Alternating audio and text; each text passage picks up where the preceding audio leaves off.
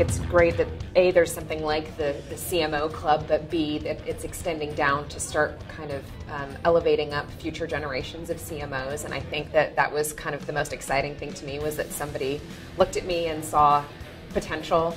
And so that alone was very, very flattering. But I like the camaraderie, I think the best. I like being with peers that are at the same point in their careers.